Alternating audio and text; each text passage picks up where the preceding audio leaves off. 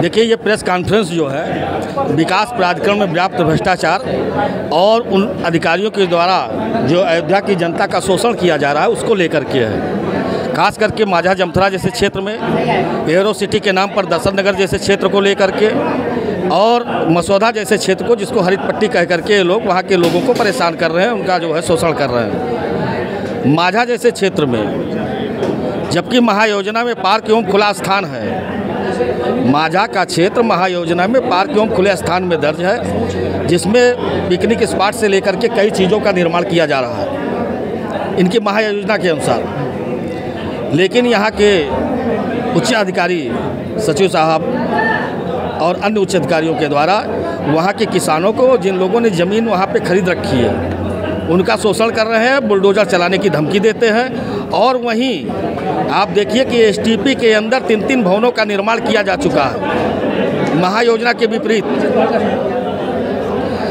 अभी तीस, तीन को, इनके द्वारा महायोजना को तीस एकड़ भूमि को बदलने का, उसका भूमियोग बदलने का प्रयास किया गया और वहीं अन्य किसानों को उसी स्तर पर रखा जा रहा है। अगर वहाँ आदमी दो फीट, तीन फीट अपनी बाउंड्री भी उठा लेता तो उसको कहते हैं बुलडोजर लगा के तोड़ देंगे।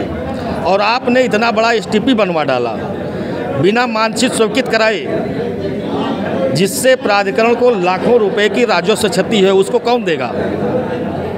प्राधिकरण उससे लाखों रुपए राजस्व प्राप्त करता।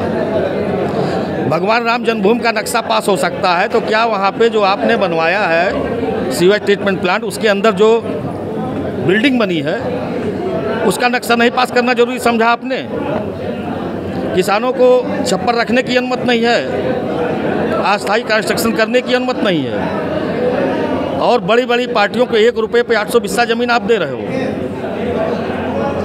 तो ये पूर्णतया गलत है और दर्शन नगर जैसे क्षेत्र में कई गाँव आते हैं, आपने एरो सिटी घोषित कर दी।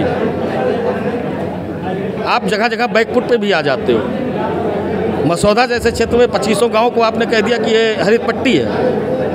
वहाँ के लोग जो ज़मीन खरीद चुके हैं, जो मकान बनवा चुके हैं, वो क्या करेंगे? आप कहते हो चलो जो बनवा चुके हैं, उनको रहने दीजिए, उनको नहीं तोड़ेंगे। जैसे आपने देखा होगा कि गुप्तार घाट जैसे स्थान पर बरसों से लोगों ने अपनी दुकानें खोली थी। वहाँ के लोगों को इन्होंने आश्वासन दिया कि दुकानें बन रही, मैं आपको दुकानें दूँगा। बड़ी बड़ी पार्टियों को ऊँचे दामों पर आपने बेच दिया उनको हटाने के लिए बात कर रहे हैं आप लगातार।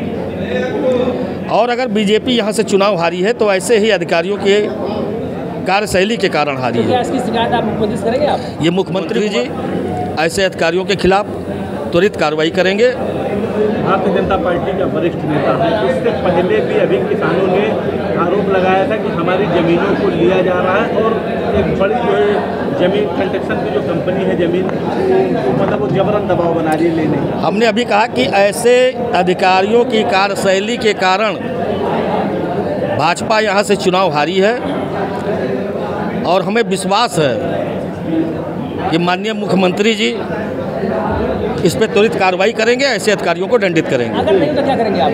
अगर नहीं होता है ऐसा संभव ही नहीं है हम आंदोलन करेंगे इसके लिए हम आर पार की लड़ाई लड़ने को बाध्य होंगे।